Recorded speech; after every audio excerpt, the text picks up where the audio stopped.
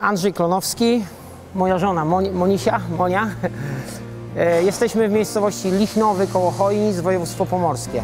Gospodarstwo posiada około tam 160, ponad 160 hektarów ziemi. E, W 96 roku właściwie tak zaczęła się moja historia, gdzie rodzice mi zapisali 5 hektarów, e, żeby wyjść z wojska.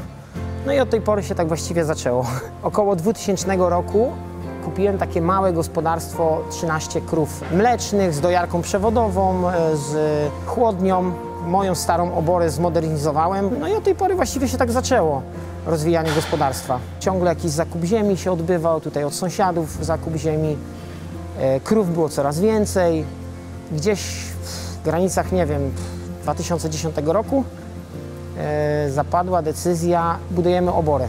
Jeden budynek, w którym mieści się e, krowy i cała żeńska młodzież, żeby wszystko mieć zamknięte w jednym budynku. W 2014 roku na wiosnę zaczęliśmy budowę.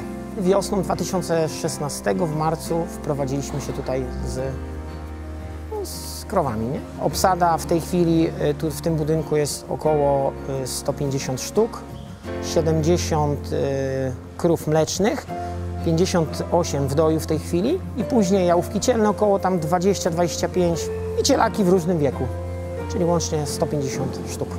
Dzienna produkcja mleka jest w granicach e, w tej chwili 2000 litrów. Za zeszły rok oddaliśmy 780 chyba tysięcy, niecałe 800, o ile dobrze pamiętam. Obora jest wyposażona w e, kurtyny e, boczne. Taki cokolik jest tylko 40 cm. Później mamy siatkę przeciw ptakom, tak żeby nie wlatywały do obory. I to wszystko jest sterowane przez e, stację pogodową. E, Tam mamy czujnik wiatru, kierunek wiatru, czujnik deszczu, temperaturę w oborze. No i tak, tak to działa. No.